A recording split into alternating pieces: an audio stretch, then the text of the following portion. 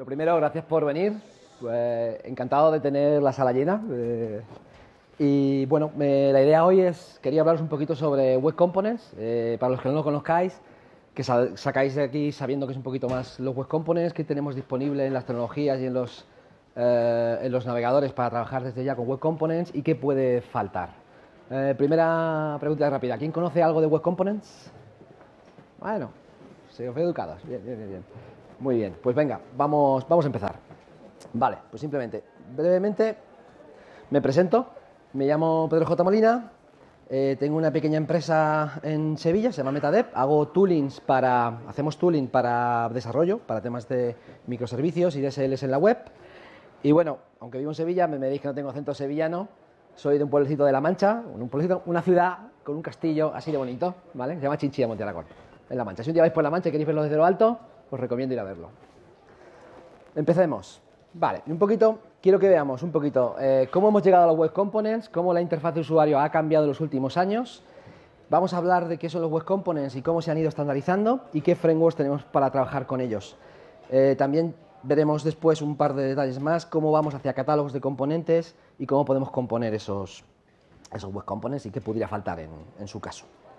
¿Vale? Entonces, primero una pequeña historia de, de arqueología, ¿vale? Eh, cuando trabajamos con UI, ¿no? Hoy en día es, está muy cómodo tener una aplicación SPA, ¿no? Un Single Page Application, es lo que está de moda, ¿no? Eh, que si React, que si Angular. Pero antes de esto, antes os acordáis, ¿no? El ASP.NET, el Ja- Java Server Pages, Ruby, todo esto se renderizaba, ¿no? Se generaba el HTML, se estaba generando en el servidor. Se sirve al cliente y el, browser es el que realmente hace el rendering del HTML, ¿no? Esto, pero esto es del pasado, ¿no? Esto es algo del pasado, esto es, ha pasado ya un poquito. Si vamos un poquito más atrás, ¿os acordáis de Silverlight, Flash, Applets? Esto corría en el cliente, ¿vale? Esto corría en el cliente. Vámonos un poquito más atrás. Eh, clientes pesados, .NET, Java también estaban ahí. Un poquito más atrás está el PHP, están los DGIs, eso volvía a correr en el servidor, ¿vale? Un poquito más. Visual Basic, Delphi, ¿alguno en la sala ha tocado? ¿Alguno? Ya quedan menos manos, ¿vale? Yo la levanto. Qué viejo soy, ¿no? Eh, juventud, eterno tesoro. Vale, y si nos vamos más atrás, también alguno habrá tenido la oportunidad de trabajar con un mainframe, con terminales VT52, en plan juegos de guerra, ¿no? Conectándose a Joshua, ¿no? Vale, pues a mí esto me suena a esto, ¿qué queréis que os diga? Ping pong, ping pong. Lo hacemos en el cliente, lo hacemos en el servidor. Lo hacemos en el cliente, lo hacemos en el servidor. En seis meses, os apuesto, lo hacemos en el servidor. Eh, React eh, y Angular tienen su parte de eh, server-side rendering, o sea, es la vuelta al servidor. Y bueno, esto es cíclico, hay que vivir con ello. Una vez que te das cuenta del patrón, pues bueno, las modas, la tecnología es lo que tiene, ¿no? Hay que vivir con ello. Bueno, y además, además de este pimponeo, ha habido cosas interesantes ahí en el mundo de la UI, ¿no? ¿Qué, ha pasado? Pues tenemos arquitecturas del tipo Model View Controller, con todas las variantes que hemos tenido, en lenguajes y tecnologías. La primera vez que apareció fue en Smalltalk, en el 80. Tenemos el Model View Presenter, que apareció por el 90 con IBM. El Model View View Model, de, por Microsoft, en el 99. Las reactivas, del tipo React.js, eh, React y todas las RX. Las unidireccionales y reactivas como Cycle.js, que tienen muy buena pinta y son un poco muy disruptoras. Hay poquita gente trabajando en Cycle, ¿no? algunos lo, lo conoceréis. Tenemos el Model View Update, que es la variante que utiliza eh, Elm, ¿vale? Y luego tenemos orientadas a componentes, ¿vale? Y esto, esto es del 91, eso es Visual Basic 1.0, ¿vale? Del 91. ¿Vale? Yo digo, ¿al- ¿alguno se acuerda de esto, no? ¿Vale? 91, Visual Basic 1.0, Windows 3.11, esto tenía esta pinta. Visual Basic, paleta de componentes, y ala, drag and drop y a jugar, que es fácil, ¿no? Había mucha gente que hacía sus pinitos con Visual Basic o con Delphi y hacía esas cosas. Claro, ¿qué tenía de bueno esto? Era muy fácil, esto es orientado a objetos, tienes tus componentes, el componente es el botón. Yo planto el botón y el botón tiene propiedades. Tiene un nombre, tiene una propiedad, lo puedo cambiar y tiene eventos. Cuando haces clic, aquello salta el clic que tú puedes responder a ese clic. Eso es un componente a nivel visual, ¿vale? Bueno, ¿y qué es un web component? Un componente, según lo define la W3C, es un componente, es un objeto con propiedades con eventos y al final vas a acabar teniendo una paleta de componentes. Es el Visual Basic 20 años después, 25 años después, en la web. ¿Vale? Parece que no, no hemos avanzado mucho. ¿O sí? Es decir, ha tardado 25 años en llegar el modelo de componentes de Visual Basic y de Delphi a la web. Pero ya está aquí, bienvenido sea. Los navegadores van a empezar a soportarlo, ya lo soportan, muchos de ellos, ahora lo veremos. Y podemos trabajar de esa manera. Nostálgicos del Visual Basic, podemos trabajar en la web como hace 25 años. Vale, ¿qué tiene de bueno eso? Vale, aquí está el resumen. Ya hemos hecho spoiler. Vale, eh, ¿cómo hemos llegado hasta aquí? ¿Cómo, ¿Qué ha tenido que hacer la W3C para habilitar esto en los navegadores ¿no? y poner de acuerdo a la gente? Pues se ha basado en estándares, ¿vale? Y para llegar aquí ha habido que hacer como cinco, cinco estándares que vamos a revisar con un poquito más de detalle. El primero son los Custom Elements, eh, los HTML Templates, el Shadow DOM y una importación de HTML que al final la gente lo probó, no le gustó y ¿por qué no importamos JavaScript? Y al final el que ha triunfado es el S-Modules. De, hecho, los dos están estandarizados, pero si vas a hacer web components, lo normal es que importes JavaScript y no importes por, HTML. ¿vale? Ahora lo vamos a ver. Vamos a revisarlos un poquito. Lo primero, el custom element es, algo como esto. Yo puedo poner ahí eh, Acme Calendar, ¿vale? Acme es la compañía ficticia que lo hace y Calendar es el calendario. Obviamente, eso parece HTML, tiene atributos, le pasamos el mes, la fecha y el onSelect, que parece un evento, al que me puedo suscribir. Eso está muy bien, parece markup, parece HTML, pero el navegador no sabe nada de eso. El navegador te va a decir, yo no sé lo que es un Acme Calendar, sé lo que es un div, sé lo que es un párrafo, sé lo que es un H1, pero no sé lo que es un Acme Calendar. Pues la posibilidad de que tú puedas escribir markup como si fuera algo estándar, eso es el custom element. Lo vas a poder usar. Otra cosa es que el navegador tiene que estar enterado de qué te pinto ahí cuando aparezca algo tan extraño como eso, ¿vale? pero los atributos y los eventos se, tratan igual. Vale. Eh, por debajo de un custom element lo que hay es algo parecido a esto que veis aquí. Hay una primera parte de plantilla que es HTML.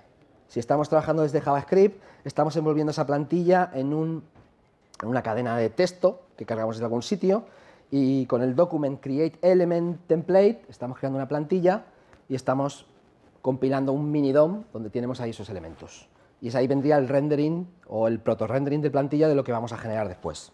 Y por debajo hay una clase, hay una clase S6 que hereda de un elemento especial que se llama HTML element. Si trabajáis con JavaScript a pelo, podéis construir web components de esta manera.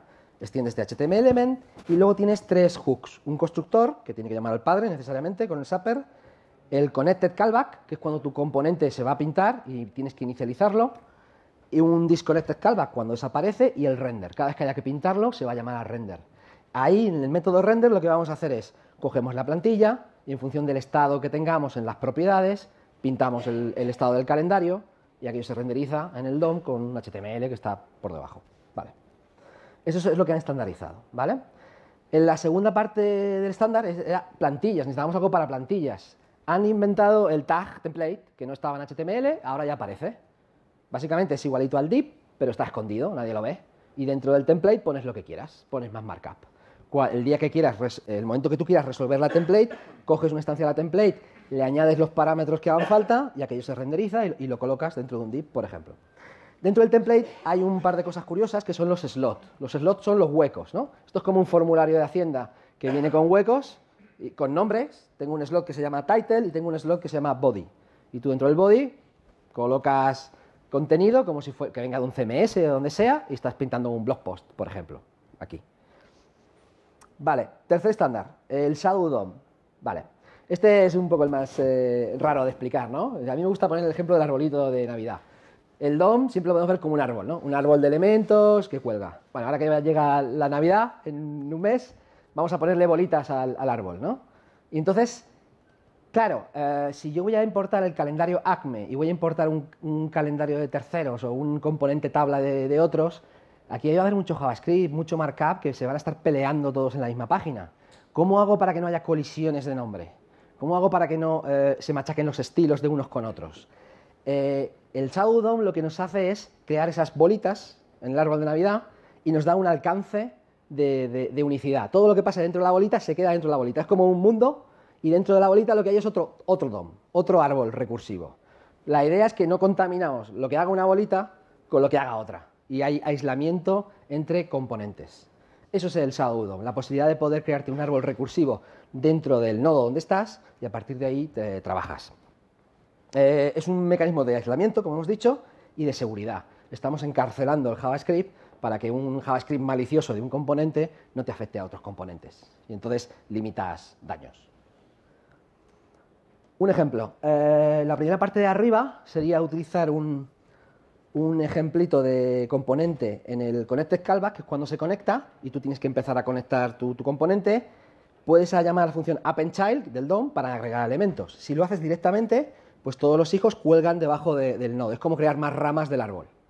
Pero si en lugar de hacer el appendChild haces la segunda parte que tengo debajo, que es el root attach shadow, y hay dos modos, modo open y modo close, en, función de si das más visibilidad o, no visibilidad a lo que tienes dentro, estás creando realmente una raíz privada. Y sobre esa raíz tú cuelgas todo lo que quieras, solo tú la puedes ver. Si tú tienes la referencia a ese puntero, puedes acceder a ese contenido. Si no tienes acceso, eh, nada, no existe, a ti no existe. Vale, eso es el Shadow. Siguiente paso, el HTML imports, ¿vale? Al principio, eh, claro, si yo quiero colocar ese calendario que os he puesto antes dentro de mi página, tendré que traérmelo de algún sitio. La primera, fácil, la primera y más fácil idea fue, oh, vale, me traigo un HTML import, link ref rel import. Esa era la parte nueva, ¿eh? el keyword import. Y a partir de ahí un href a un HTML, donde estará definido el calendario. Si ese HTML necesita CSS o JavaScript, pues con otro, con otro import, con otro link y, con la sentencia script irá trayéndose lo que necesite. Bueno, a partir de aquí se vio que era más interesante importar desde, tener el control desde JavaScript que no desde HTML, porque al final tú tienes que inicializar los componentes y al final siempre tienes que hacer algo de inicialización. No vas a hacer simplemente una importación eh, aséptica y aquí no ha pasado nada, sino que tienes que inicializar un poco el bootstrapping de lo que vaya a hacer tu página. Y ahí es cuando aparece la segunda parte. En ese mismo momento se estaba definiendo una manera estándar de estandarizar módulos dentro de, JavaScript y aparece el S una manera de importar módulos y lo que hacemos es el script de tipo módulo, que es la parte nueva, nos permite importar un, módulo JavaScript que podrá estar minimizado o no y a partir de ahí ese JavaScript contiene plantillas, eh, custom components, CSS, lo que necesite, ¿vale? Pero también desde JavaScript podemos cargar lo que, lo que sea necesario. Vale, ¿en qué estado está esto? Bueno, pues ha habido, una versión 0 de los dos primeros, ya superada, ahora estamos en versión 1, y todo está bastante estandarizado. Ha habido algo de polémica en el último año sobre, bueno, qué es, qué es un módulo en JavaScript, ¿no? Y cómo lo empaquetamos. No detenía una versión, los navegadores hacían otro, el require hacía otra cosa, y ha habido ahí un poquito de consenso hasta llegar a estandarizar algo común, ¿no? Pero bueno, está casi hay alguna discusión ahí, os dejo un link, pero ya tiene unos meses, esto ya está superado. Y por otro lado, hay otra guerra importante que es el tema de HTTP 1, 1.1, llevamos como dos años yendo hacia HTTP 2, ¿vale? Antes, con HTTP 1 nos recomendaban bundle, empaqueta todo, minimiza, webpack, todo pequeñito, cuanto menos cosas traigas del servidor, antes carga la página. Eso es mentira con HTTP 2. HTTP 2 abre conexiones en paralelo y lo que te dicen, no hagas bundle ten ficheros pequeñitos que el navegador ya se encargará de ir trayendo lo que necesite y eso va a ser más eficiente. Eh, entonces, cuando, a eso también hay que tenerlo presente. Si vuestros clientes utilizan HTTP1 en su mayoría, pues te, tocaría ir a bundle. Si ya asumes que solo vamos a HTTP2, eh, un día estos dejaremos de utilizar Webpack para que haga bundles y haremos otro tipo de cosas. Le reduciremos el tamaño, pero a lo mejor no nos interesa hacer eh, bundles, ¿vale? Ese es otra, otra, otro tema que también afecta mucho porque si yo voy a poder traerme componentes de terceros, uno hecho con Angular, otro hecho con React, otro hecho con Polymer y los pongo en mi página y todos funcionan eh, maravillosamente bien, y bueno, tengo que traer cosas de diversos sitios. O sea, difícilmente vas a hacer un bundle de tecnologías que son eh, que se pelean entre ellas, ¿no? La idea es que cada una viva en su burbuja y aquí no haya, no haya problemas de ese tipo. Vale. Eh, ¿Cómo estamos de soporte? Este, esta foto es de mayo. En mayo bueno, tenemos ya bastante soporte a los estándares. Chrome, Opera, Safari los Evergreen muy bien. Ya lo tenían casi todo. Safari tenía un polyfill. El polyfill es cuando no tienes implementado en el navegador eh, la característica que necesitas, pero tienes un pequeño JavaScript que te simula lo que necesitas y te engaño. Y de momento vamos tirando con el polyfill, ¿vale? Pero no, es ideal. El polyfill es un parche. Pero bueno, te, sirve, te permite probar. Firefox estaba así, así y Edge así, así. ¿Cómo estamos hoy? Esta foto la actualicé ayer, para no contaros mentiras, y según la web de Web Components, esto está ya casi todo el mundo tiene y tenemos un rezagado, ¿vale? Esperamos que el rezagado se ponga las pilas, no lo queremos dejar atrás, ¿vale? Allá ya saben lo que tienen que hacer, ¿vale? O sea, si todo el mundo ha elegido ya implementar Web Components, no tiene más remedio que ponerse las pilas, ¿vale? Así que esto es inminente, vamos a darle un mes o dos meses más, pero ya estamos aquí. Ya tenemos todo lo necesario para trabajar con Web Components. Incluso con Polyfills esto funciona, ¿vale? Vale, eh, bueno, polyfills, ya digo, solamente residuales. Eh, si necesitáis un polyfill, os bajáis este componente, npm web components tal, y esto se instala los polyfills, vuestra página engancha los polyfills, detecta que es un, navegador que lo necesita y te parchea el entorno para tener lo que necesitas y puedes jugar a web components. Vale. Librerías, vale. ¿Qué hacemos los web components? Podemos hacerlos a pelo, en JavaScript S6, hay mucha gente que le gusta el JavaScript. Y hay otra gente que le gusta los frameworks, ¿no? Los frameworks te ayudan, ¿no? Como esto es muy vibrante y hay mucho... Eh, está todo el día cambiando, pues hay muchos frameworks. ¿eh? Aquí he puesto una lista que no es completa, ¿eh? los, más conocidos. Y aún me dejo alguno después de hablar ayer con Jorge del Casar, que está trabajando en otro eh, que no está en esta lista, que es el HTML Lit. Native Web Components, esto es, nativos, a pelo, JavaScript, con lo que os he enseñado antes, los podemos hacer. Con Polymer 2 y 3. El 1 no, porque ya quedó un poco atrás, ya cambió el estándar. Skate.js, Xtag, Slim, Stencil.js, Angular Elements, Svelte o lo, Vue tiene una cosita también para adaptarse hacia, hacia Web Components. Claro, eh, es ¿por dónde empiezo? Pues hay un repo, que os pongo ahí el link, luego publicaremos las slides, que tiene la aplicación To que es la típica aplicación que todo el mundo sabe cómo funciona, hecha con todas estas tecnologías. Te vas a ese repo, te lo clonas y puedes aprender por comparación cómo se hace un buen component en Skate, en Slim, en Angular y demás. Es una referencia muy buena que os, recomiendo. Vale, y bueno, la pinta que tiene, ¿no? Un web component nativo, o sea, no me da para hacer zoom, son, tiene esta pinta, así, abuelo de, de pájaro, ¿no? Ese tamaño en código. En Polymer 2 es un poquito más pequeño, en Angular Elements es más pequeño, en Skate.js y Vue parecido y en Stencil, bueno, cada uno tiene su sintaxis. Hay quien separa los ficheros, te pone el markup, el CSS y el JavaScript por separado, hay quien te lo pone todo junto, a la React, para gusto de los colores. De ahí cada uno que elija el que le gusta. ¿Qué framework va a triunfar? Ni idea. Ni lo sé, ni me voy a jugar el dinero a, a decir, este es el que se vaya al gato al agua. Yo estoy observado desde la barrera y el que gane, pues por ahí iremos, como siempre, ¿no? ¿Vale? Entonces, claro, esto está muy fragmentado y ahora decir, necesitamos, si queremos empezar a trabajar con Web Components, ¿dónde inviertes, no? ¿Dónde inviertes para empezar a construir si el framework por el que optas a mitad de camino te deja tirado, ¿no? Bueno, eh, ahí habrá que ver qué, qué ocurre con eso. Y lo bueno de todo esto es que ya empieza a haber un catálogo de componentes. Si os vais a la web em, webcomponents.org, que es esta de aquí, el catálogo ya va por 1771 elementos que en su mayoría son gratuitos. Para descargar desde NPM te los bajas y tienes componentes para integrar fechas, para paginar y un slider de fotos, para hacer cobros. Tenéis un poquito de todo, un montón de componentes. Eh, muy sencillos y con la idea de que sean reutilizables, que los puedas poner en tu página web y los puedas aprovechar. ¿Vale? ¿Cómo está hecho cada componente? Pues depende. Hay gente que los hace con, un framework, con otro, pero la, idea es que los compilan y los minimizan a JavaScript eh, muy pequeño, te los dan en modo bundle, para que tú solo tengas que importarlo y te traigas lo mínimo imprescindible. Aquí va a ser muy importante que uses el framework que uses para desarrollar web components que sea muy, muy, muy ligero. Porque si me tengo que traer un Angular que pesaba antes 6 megas o 3 megas y luego el React y otro de Polymer, eh, aquello es un Frankenstein al final, ¿no? Entonces, se están poniendo las pilas todos en que los frameworks adelgacen. Y de hecho, cuando te utilizas la variante de Angular, por ejemplo, para hacer web components, eh, meten tijera a todo lo que no es necesario y te dejan algo muy, muy, muy pequeño, para que realmente lo puedas utilizar sin traerte todo, todo el Angular o todo otro framework que quieras utilizar detrás. Vale. Y ahora os quería proponer enseñar un, ejemplo de, Yo estoy trabajando con herramientas sobre esto, porque creo que hacen falta herramientas para Web Components, y os quería enseñar un ejemplo de, lo que estamos haciendo y podéis utilizar esta herramienta para generar Web Components en estos frameworks que os he enseñado antes. Aquí os voy a hacer una pequeña demo. Bueno, a ver, lo tengo aquí, abierto.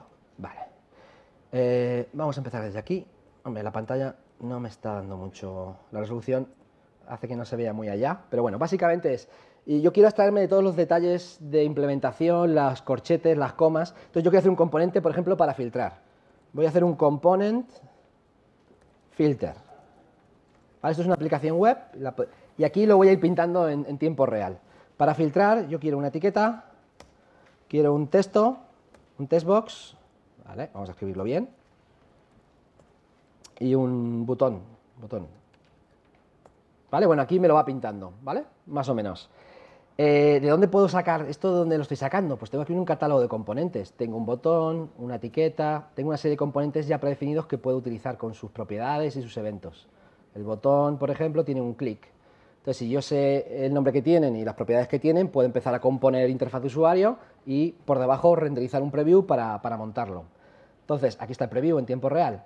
Entonces yo podría decir, bueno, el label va a ser, tiene una propiedad, cuidado, eh, textbox, text igual filtro, veis que va dando, dando errores en tiempo real, textbox este 1 y el botón, label que se va a llamar eh, buscar. Vale, label, a ver, perdón, el botón es eh, text, se llama text. Aquí me va dando los errores. Text. Vale, pues yo diciendo simplemente esto, eh, vamos a darle un poquito de estilo a esto, ¿vale? Vamos a cambiarle el layout. ¿Vale? Layout horizontal. Esto tiene completado de código, pero bueno, la red me está fallando aquí un poquito. Ahora os lo enseño. Bien. Vamos a escribirlo bien. horizontal. Vale, solamente con decirlo horizontal ahora me lo ha puesto de esa manera. Entonces yo podría en un momento dado decirle, bueno, puedo definir un evento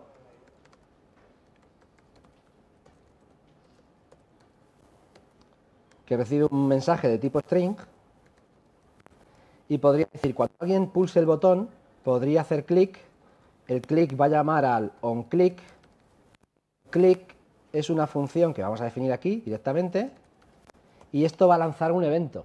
Esto va a hacer una emisión, emite el evento search y te paso como parámetro el texto que acabamos de buscar. Como el textbox se llama T1, yo podría T1.value y acabo de enlazar eh, que el botón dispara un evento. Entonces, cuando yo le voy a buscar, si lo he hecho bien, esto está tirando aquí el valor. ¿no? Eh, si yo pongo aquí cualquier valorcito de estos, a ver, eh, no, no será value, a ver, textbox, ayúdame, Sí, sí, es value. T1 value. Bueno, ahora veremos a ver exactamente. ah, ah vale, voy a pasárselo. Voy a pasarle por aquí T1.value. Recibo por aquí el B. Y aquí tiramos el B. Pero bueno, veis un poquito la, veis un poquito la, idea, ¿no? De, cómo, de cómo funcionaría esto. Aquí tengo algún errorcito, vale, porque no he tipado esto. Vale, es un pequeño DSL que te define, te permite definir eh, componentes con propiedades, eventos y ver cómo quedaría. Eh, bueno, esto un poquito para que veáis que es, interactivo y esta paleta de componentes la idea es que la puedas extender, donde puedes traerte web components de terceros y tú puedes componer y ver cómo queda. Aquí os pongo un pequeño ejemplo, donde aquí tengo el filtro ya construido, donde puedo buscar, puedo cambiar el valor y puedo ver eh, el resultado. Luego después tengo un componente que se llama listing, que es todo lo que me, define es una rejilla, ¿vale? Donde yo puedo definir las columnas y cambiar la alineación de izquierda a derecha y ver en tiempo real cómo queda la rejilla. Luego tengo un componente que se llama acciones, que coge dos botones y me define lo que hay el cancel o lo que queramos. Y otro componente no visual que se va a encargar de conectarse con la parte de lógica de negocio para poblarme la rejilla. Y al final voy a un componente que los compone. Esta página está compuesta por un filtro, un data source, un listing y un action, los anteriores, con algo de lógica de negocio en funciones para enlazar eventos. Y te queda algo como esto. Es decir, acabamos de combinar el filtro, la rejilla, Si tienes la parte del lado servidor, enganchas ya tienes algo funcional que es capaz de buscar y presentar resultados. ¿Vale? La idea de todo esto, aparte de prototiparlo, no hemos dicho nada todavía de CSS, porque no es el objetivo. La idea es que tú prototipas esto y luego esto llevará los colores con tu CSS, con lo que tu compañía necesite. ¿Vale? Pero estamos prototipando cómo quedaría el componente y sobre todo lo que nos interesa saber es la asignatura. Este, esta página que estoy definiendo aquí, o el filtro, aparece aquí con sus propiedades y sus eventos porque lo estamos definiendo, ¿vale? Entonces, esto también tiene una serie de dependencias. Podemos pintar en tiempo real las dependencias de este grafo y ver cómo, queda la cosa, ¿vale? Para ver un poquito las, las dependencias que tenemos. Y por último, podéis coger esto que habéis definido y decir, quiero generarlo en Web Components nativo. Pues toma, aquí tienes el código. ¿Vale? Un poquito de lo que habíamos visto, podéis jugar a, ver cómo sería esto de los Web Components en varias tecnologías. Tenéis Web Components nativos, tenéis Web Components con System.js y aparte de generarte el código, te puedes ir a StackBlitz, te lo despliega en StackBlitz y lo puedes correr directamente sin instalar nada. Si tengo red, funcionará. Vale, ahí está, acaba de cargar y allí está haciendo un preview de lo que acabamos de hacer, ¿vale? Eh, ¿Qué más? ¿Qué más? Si queréis algún otro, pues tenéis eh, Angular Elements, que también te lo genera y te lo integra con StackBlitz, eh, Polymer 3, Ion Stencil, y aquí habrá más, ¿vale? Van a venir más. Entonces, yo no sé qué framework es el que va a ganar, no lo sé, pero no importa. Yo lo añadiré a la lista y vamos a, yo quiero trabajar desde hoy con Web Components. Y cuando los, cuando los eh, tengamos unos frameworks eh, que ya queden dos o tres, queden poquitos, no 40 como vaya ahora, pues bueno, podemos centrarnos ¿no? en generar lo que, lo que necesitemos. Y a partir de ahí tienes un primer diseño inicial con, con lo que has diseñado, todavía te queda meterle estilos, por supuesto, no iba a hacer aquí un diseñador de, estilos porque no es el objetivo, el objetivo sobre todo es centrarte en lo que te da Web Component, que es componente, propiedades, eventos y ver un poco lo que, lo que necesitas. Vale, entonces lo siguiente que necesitamos es, ya lo voy a hablar, eh, vamos a hablar un poquito de ello, es esta lista de componentes, yo quiero irme a, a la página de Web Components buscarme un componente date picker, por ejemplo, ¿vale? y aquí hay unos cuantos, y podría coger este, o podría coger este o el otro, ¿vale? En función de las estrellitas, qué tal. Pero claro, esto está hecho en JavaScript. Eh, JavaScript no tiene tipos. ¿Cómo sé yo que el, que el componente tiene propiedades? ¿Cómo se llaman las propiedades? ¿De qué tipo son las propiedades? ¿El evento? ¿Qué parámetros lleva? Eso no está. Y en un mundo de componentes los tipos son importantes, ¿no?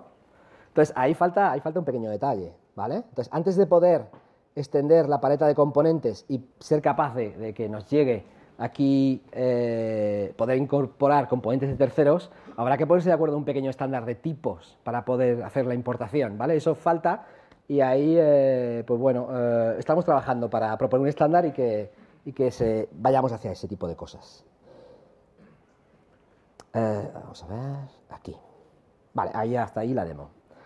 Vale, ¿qué, puede faltar? Eh, bueno, primero consensos y cierre de estándares. Yo diría este punto está superado, ¿vale? Lo tenía aquí eh, porque hace tres meses, seis meses sí que era importante que eso se acabase de cerrar, pero está cerrado ya. Eh, el segundo punto, los navegadores, adopción, desterrar polyfills. Estamos ya, ya a punto. Las cosas van madurando y solo queda Edge de los grandes navegadores. Tal vez en mobile tarden un poquito más en llevar las cosas a, mobile, pero los grandes navegadores esto, esto está. Y, lo que os decía, eh, lo que me preocupa sobre todo es que tengamos una definición de tipo en componentes. Los que trabajáis con TypeScript sabréis que cuando defines un, algo tipado, el definally typed, lo que te está diciendo es cómo consumir una librería con los tipos que tiene. Lo que hace falta es algo como eso, una definición de tipos en TypeScript, flow o como queráis, pero sin eso es imposible hacer un tooling que tenga drag and drop y que sepa, que sepa darte un error cuando a una propiedad de tipo texto le estás añadiendo un número, o al revés, ¿vale? Hay que gestionar los tipos, ¿vale? Y por último, harán falta con herramientas, ¿no? Esto que os he enseñado es una primera herramienta y un, prototipo, ¿no? Para, empezar a jugar con ello, y tendrán que salir más herramientas para trabajar con Web Components, y espero que sean de esta pinta, ¿no? Que tengamos diseñadores drag and drop, que podamos configurar, estoy pensando en el Visual Basic en la web, para que os voy a engañar, ¿no? Aquello funcionó en su día, ¿por qué no va a funcionar hoy, no? Vamos a esto, según yo lo veo. Y si los web components triunfan, tendremos un florecer de los web components como hubo un modelo de componentes y compañías que hacían componentes en, su día. ¿Vale? Y bueno, conclusiones. Eh, los web components ya los tenemos estandarizados por la WTC, ya están aquí, han venido para quedarse, van a estar en el navegador, los quieras usar o no y los tenemos disponibles. El ecosistema de componentes se va, se va a lanzar, se va, va, a haber cada vez hay más componentes. Eh, además de todo esto, em, antes de tener componentes ya hay una guerra de frameworks, como habéis visto. Hay muchísimos frameworks compitiendo por ser el mejor framework para hacer web components. ¿Están acabados? ¿Están finos, finos? No, están, están todavía compitiendo por esto, pero de esos 10, 12 que hay, probablemente queden 3 ¿no? Vamos a darle unos meses también para ver qué pasa con esa parte. Y en el momento que esté claro, va a haber un montón de web components ya listos y los vas a poder utilizar. Vas a poder tener una página, eh, la tecnología con el framework que tú quieras y ya se encargará tu framework de darte una manera de poder consumir un web component, porque si no se van a quedar fuera de juego. O sea, no todo va a ser React, no todo va a ser Angular, no todo va a ser Polymer. Seguro que vamos a ir a escenarios donde tenemos que integrar eh, piececitas. Pero lo bueno es que como el navegador te va a dar soporte a, esa manera de funcionar, pues el contrato está claro, ¿vale? Componentes y propiedades. Así que aprovechémoslo. Nada más por mi parte. Eh, dejamos de sobra bastante tiempo. Si hay preguntas, aprovechamos.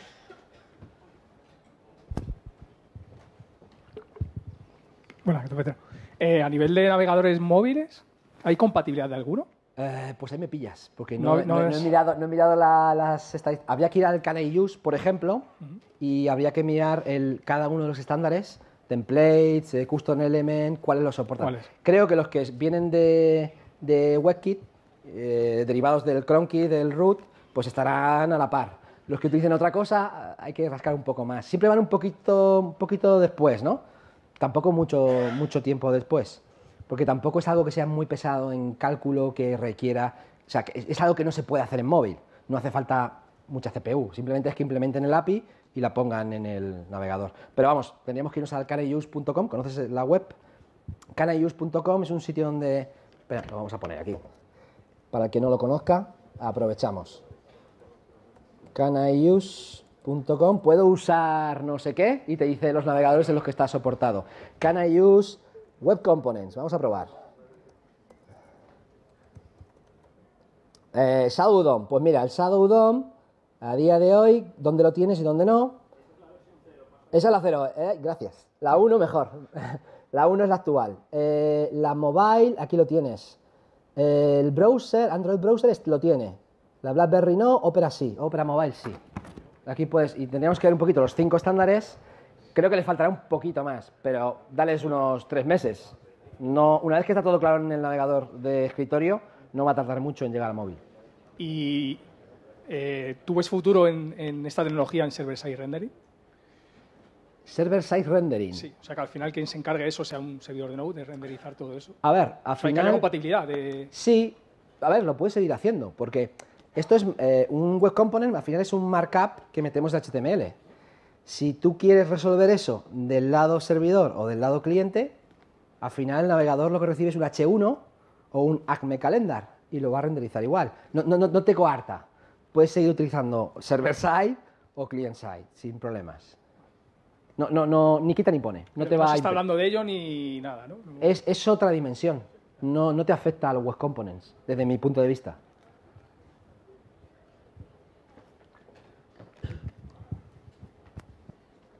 ¿Más preguntas? ¿Por ahí hay una?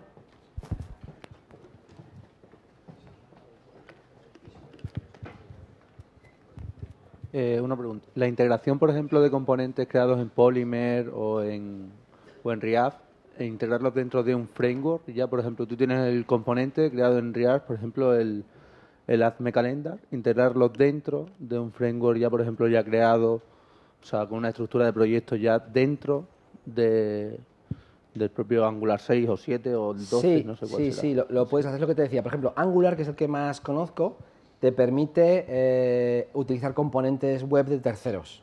Y también te permite el camino contrario. Algo que definas con Angular como un componente es ponerlo hacia afuera con Angular Elements, que sería el componente para, consumirlo. Ahí hay que verlo cómo lo hace cada framework, pero todos, todos van a esto.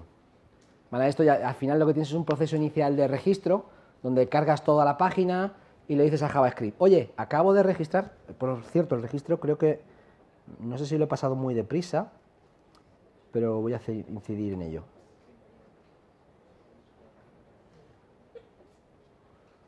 Sí, me, he saltado muy deprisa la última línea. La última línea es una línea de JavaScript donde haces el registro, donde dices, eh, oye, window, navegador, estoy redefiniendo, estoy eh, registrando un web component que se llama Acme Calendar que está vinculado a aquella clase. Entonces, eso es cuando un web component carga, tiene que hacer ese registro. Entonces, el navegador ya sabe resolverlo. Entonces, básicamente, teniendo ese punto inicial de bootstrap, cuando el navegador encuentre el markup asociado al Acme Calendar, vas a saber resolverlo y ejecutar el JavaScript que, que le da vida a ese componente. Hola. Bueno, eh, sobre lo del server-side rendering, lo importante es que, o sea, cuando renderizas el servidor, el SEO de tu página mejora, porque no se nave- Google y los demás lo indexan mejor. Si tienes web components y todas son como etiquetas de filter, no sé qué, eso afectaría mucho al SEO al final. Vale, de acuerdo, entiendo lo que quieres decir. Eh, imaginemos que tenemos un componente, web component, que lo que me encapsula es un artículo, ¿no? Si solo veo el tag y no estoy viendo el contenido, pues claro, el SEO no, no va a saber indexar. A ver, ahí puedes decidir qué haces tú a nivel de server-side rendering. Tú podrías decidir resolver el, el web component a HTML plano y enviarlo ya eh, cerrado, o sea, resuelto hacia el cliente. En ese caso, la araña te lo va a indexar bien. Es un problema de SEO, Eh, pero es una decisión que habrá que tomar, claro. Es decir, Sí, es que lo veo como un problema a resolver también, al final. Claro. A ver, también por el otro lado, eh, lo que está diciendo es, bueno, las arañas eh, están aprendiendo JavaScript. Antes no lo hacían, ahora sí, ¿no? Entonces va a llegar un momento donde las arañas no solo corran un navegador solo de HTML, sino que también corran JavaScript, sepan resolver esta parte y a lo mejor ya no te preocupa tanto ese tema. Pero Sí, es verdad, es verdad que todavía puede ser necesario eh, y ahí te interese resolver todo lo que es el contenido para dárselo facilito a la, a la araña, al crawler. Ah. Gracias.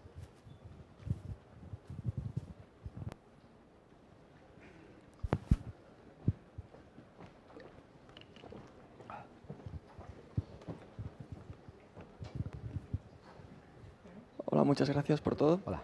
Y hemos hablado de JavaScript, de HTML, pero aquí falta un hermano. ¿Qué pasa con el CSS? El CSS. Esa, esa... Eh, bueno, no hay cambios, ¿eh? O sea, no hay, no hay nada que se añada ni nada. Básicamente es, cuando tú creas. Es verdad que en los ejemplos no os he puesto nada, pero lo harías como, como hasta ahora. Tú puedes importar estilos para tu componente y si, si no has hecho Shadow DOM, ¿qué ocurre? Que el estilo va al global y te puede contaminar los estilos globales. Pero ahí al rescate viene el Shadow DOM. Si tú has definido el Shadow DOM y has definido una burbuja, tu estilo solo se aplica para tu arbolito de componentes y ahí no, no lo contaminas. Esa es un poquito la, la- Luego se pueden hacer cosas más curiosas, como que tú a un componente le puedes pasar una propiedad que sea un color, te paso rojo, y esa propiedad eh, que recibe el web component acaba cambiando un- un- una CSS, eligiendo una CSS u otra para hacer que tu página o tu componente se vea rojo o verde o, azul, o sea, con el estilo que sea. Pero, pero no hay, o sea, el estándar no introduce nada nuevo para CSS, salvo darte la encapsulación que te da el Shadow DOM. O sea, ahí todo lo que tenemos nos vale. Los precompiladores de SAS, de LES, al final todos mueren a CSS, el navegador recibe CSS, y ya te digo, la única diferencia respecto a lo que conocemos es o está en el ámbito global, porque, porque no hay Shadow DOM, o lo has enjaulado y está en tu DOM y no contamina el resto. Vale, muchas gracias. Por aquí una pregunta.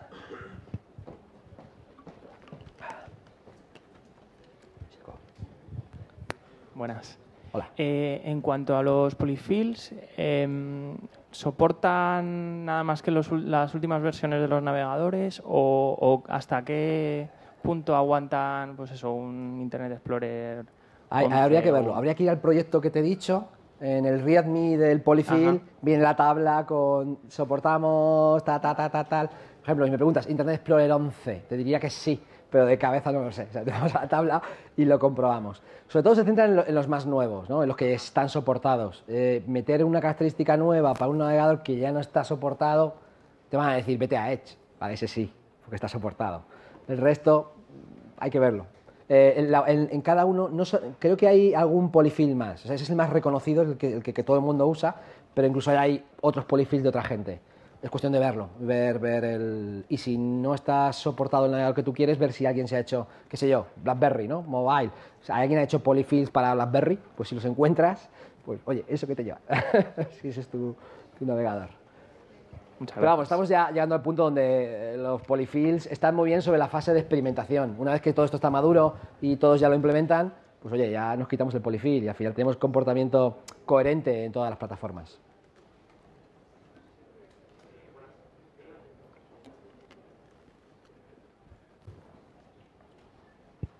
Buenas.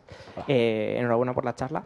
Y una pregunta. eh, ¿Tú crees que más adelante, cuando se estandarice, eh, no, no- no que haya un estándar, sino que la gente de verdad empiece a utilizar web components, Sí. eh, llegaremos a un punto donde la gente, a la hora de crear sus componentes, los hará pensando en una mucha mayor reutilización?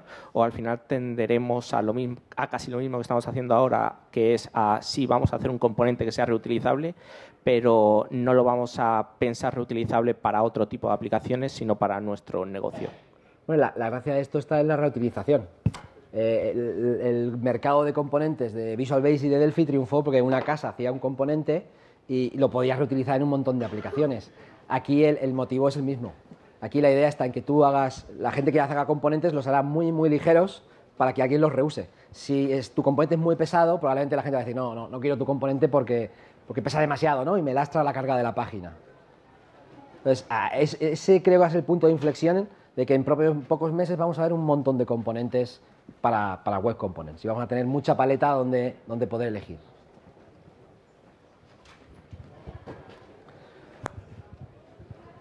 Bueno, pues si no hay más preguntas, eh, muchas gracias. Vamos a.